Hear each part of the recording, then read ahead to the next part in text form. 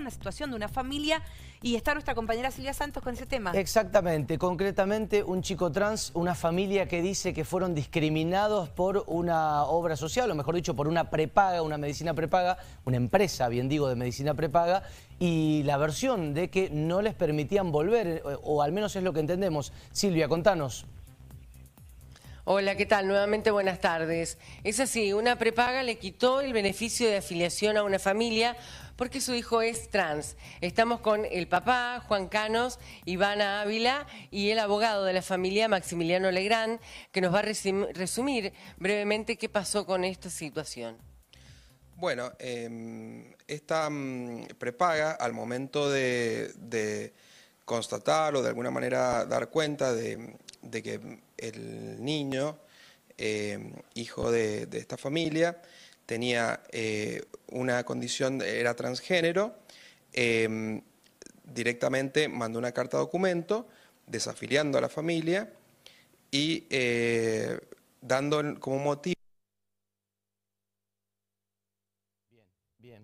Vamos a ver si podemos recuperar la señal. Estaba hablando el abogado Maximiliano Legrand. Denuncian que lo desafiliaron por ser trans, algo que nosotros, a partir del diálogo que tuvimos con la empresa, ellos, o mejor dicho, entendemos que ellos desestiman. Dicen, no hubo ningún tipo de discriminación. Después van a dar su versión oficial sobre los hechos. ¿Volvemos al lugar? Sí, sí, volvemos a tomar contacto con, con Silvia y el abogado. Bien, seguimos escuchando a Maximiliano Legrand. Bueno, cuando asistir eh, se da cuenta esta situación, eh, deciden desafiliar a toda la familia.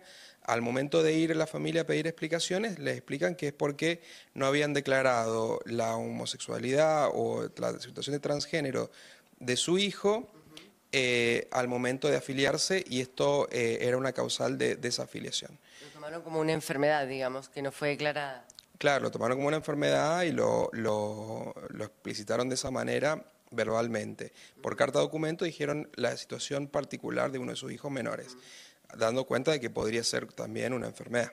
Claro. ¿Y qué pasó después? ¿Hicieron denuncias? Bueno, hicimos denuncias en la INADI, en eh, la legislatura, y presentamos una demanda en la justicia civil, eh, de la cual ya estamos por llegar a, finalizar. Em, bueno, y e, esos han sido hasta ahora los, los expedientes que hemos iniciado irían a juicio. Claro, el juicio ya lo iniciamos y estamos por terminarlo el juicio. Bien, ¿eso cuándo comenzó toda la historia? Y esto comenzó eh, ya hace como un año y medio, desde que inició eh, esta situación y que, eh, bueno, que también iniciamos la demanda hace un año y medio. se presentaron denuncias en el INADI en ese momento, en la legislatura. ¿Respondió el INADI? El INADI hasta ahora no ha dado ninguna explicación, ninguna respuesta, o sea, no, no ha habido movimiento en el expediente, no se ha, eh, citado al, denunciante, em, ni siquiera han mandado el expediente que la justicia civil lo pidió al expediente y ni siquiera lo han enviado. En caso de que sea a favor el dictamen, ¿qué lograrían? ¿Que vuelvan a reingresar a la familia? ¿Que haya una indemnización? Bueno, a raíz de esta situación de discriminación, Em, no, el, niño eh, digamos, tuvo una, un retroceso y un daño psicológico que bueno, ha, sido el que ha constatado los psicólogos y los psiquiatras del juicio. Esta situación em, de daño, eh, nosotros hemos pedido que se indemnice a la familia, por un lado, se indemnice en realidad al menor, y por otro lado también se le imponga a eh, asistir un daño, una multa por daños punitivos para que eh, esta situación no vuelva a, ocurrir más. Bien. Vamos, sí, te escucho, Gis. Una de las preguntas que a veces cuando sucede esto, ¿no? Con las, em, con las empresas de medicina prepaga u obras sociales, eh, a veces lo que uno primero recurre es a la superintendencia de salud. Digo, ellos ¿Cuál es también la versión o cuál es también la respuesta que han tenido ante esta situación y si es que lo han consultado o, se ha hecho también el, el trámite? ¿Han hecho la denuncia entre la Superintendencia General de Salud? No, no hicimos, em, no hicimos esa denuncia. En realidad, como en un caso de discriminación típico, eh, hicimos este, esta presentación ante el INADI, pero ante, en realidad los órganos, los lugares digamos, los organismos administrativos a los que nosotros recurrimos, no han tenido ningún movimiento, entonces hemos desistido de hacer denuncias en organismos administrativos. El único... Tenido a la justicia. Claro, Silvia. fuimos a la justicia, que es la única que ha dado, al menos por el momento, se ha iniciado el, el expediente y se ha seguido eh, este expediente en la justicia civil. Sí, te escucho, Julián. ¿Cuánta plata piden como resarcimiento y cómo llegan a elaborar esa cifra? Bien, ¿cuánta plata piden de resarcimiento y cómo llegan a elaborar esa cifra? Bien, nosotros hemos eh, establecido un daño psicológico, eh, daño moral y también daños punitivos. Eh, la suma, en estos momentos no recuerdo exactamente, pero es de varios millones de pesos. Eh, Alrededor de... y más de 20 millones de pesos hemos pedido. Eh, tiene un número muy concreto porque hemos sacado, mm, la, ahí se sacó a través de una fórmula. Eh, los peritos del juicio ya han determinado una incapacidad que le ha quedado a, al menor porque justamente est- esta, esto generó un daño psicológico y una- un retraimiento por parte del menor que ya estando en una, en una edad muy crítica, con una situación muy crítica eh, para cualquier adolescente, eh, le ha provocado este, un daño grave.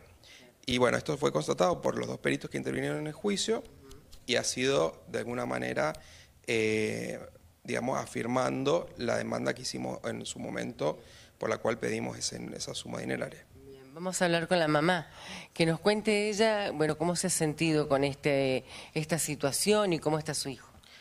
Hola, buenas tardes. Ha sido una situación muy complicada porque, bueno, en el entorno de que él empezó a, a transcurrir todo, esta, todo este nuevo mundo para él, ninguno, ni familiares, ni amigos, ni docentes, ni, ni nadie que estuviera en su entorno eh, hizo ningún tipo de discriminación, ningún comentario, al contrario, se lo apoyó, se lo contuvo, se lo ayudó y, y hoy mi hijo realmente no está bien, ¿Qué edad tiene su hijo? va a cumplir 17. Eh, hoy en día no quiere saber absolutamente nada, ni siquiera con ir a un hospital. Eh, si se enferma, tenemos que automedicarlo. Bien, vamos a ver si recuperamos la, la señal porque perdíamos a la madre de este chico de 17 años. Según denuncia la familia, la empresa lo desafilió cuando se enteró de que estaba pidiendo una especie de cambio de género, o mejor dicho, que estaba pidiendo la hormonización, según lo que contaban y según han referido algunos de nuestros colegas. La empresa, insistimos, dice que esto no ha sido así. Vamos a ir a Silvia Santos para que pueda terminar de contarnos esta historia. Silvia, se quedaba la madre Ivana diciéndonos Sí. que no quiere ir al hospital Sí. y, que, y que cualquier situación cuando se enferma requiere que se automedique este chico. Sí. Y lo que nos estaba diciendo es lo que pide Ivana, justamente. Sí. Sí, pido que los jueces eh, realmente vean el daño que han generado sobre mi hijo y tengan una condena como se merece esta- estas personas, porque no fue una, fueron dos.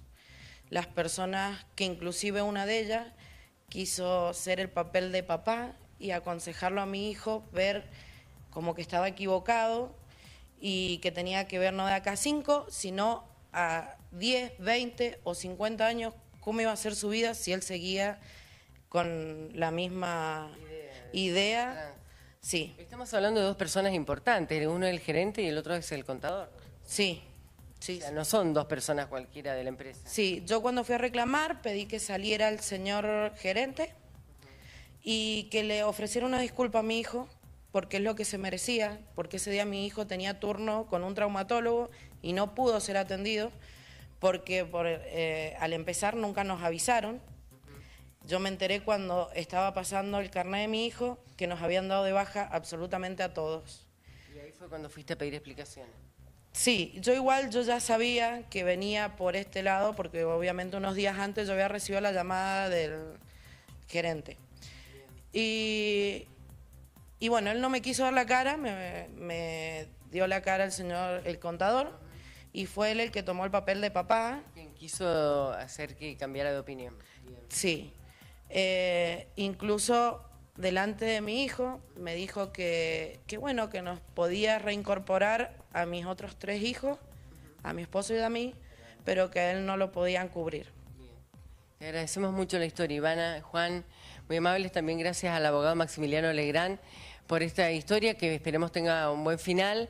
Están en la etapa final del Sí. juicio. Vamos a buscar la palabra de asistir, que hasta el momento no hemos podido comunicarnos. Si bien hemos insistido en tratar de tener su palabra, hasta el momento no ha habido una explicación por parte de la prepaga. Sí vamos a seguir la historia, por supuesto, para ver qué final tiene y si es reconocido el derecho del joven como joven trans y, por supuesto, Claro. tener una obra social, una prepaga como cualquier persona. Gracias, Silvi. Gracias. Bueno, nuestra compañera Silvia Gracias Santos a que decía no se había podido comunicar todavía. Nosotros sí lo hicimos extraoficialmente. Lo único que nos anticiparon es nosotros desmentimos esa versión, no hubo discriminación y sí van a contarlo con el correr de los próximos días. Cuando digo contarlo me refiero a qué ven ellos y qué aducen ellos en el medio de toda esta historia, porque es grave la acusación que está haciendo esta familia. De hecho son varias. Absolutamente, porque por allí Perdón, No, no, eh, idea. digo, de hecho son varias. La desafiliación, el hecho de después querer cambiarle, hacerle cambiar de idea, entre comillas, y después esto de reincorpora a tus otros tres hijos, pero a él no. Claro, bueno, Habrá en eso pasa, por eso yo preguntaba esta, esto de, de la Superintendencia de Salud, que en muchos casos se ha dado cuando quizás algunas prepagas o, o- o, em, empresas de medicina prepaga que han hecho esto, han desafiliado quizás a alguno de los miembros por tener quizás también alguna otra discapacidad, estoy hablando de otra situación, y vas y recurrís y, y los intiman, obviamente, se hace un trabajo administrativo para que la Claro. obra social cubra, no deje sin cobertura a esa Acá ese persona. paso no se hizo. Claro, y acá no se ha hecho, pero bueno, veremos cómo y si tenemos también la palabra de la empresa, ¿no?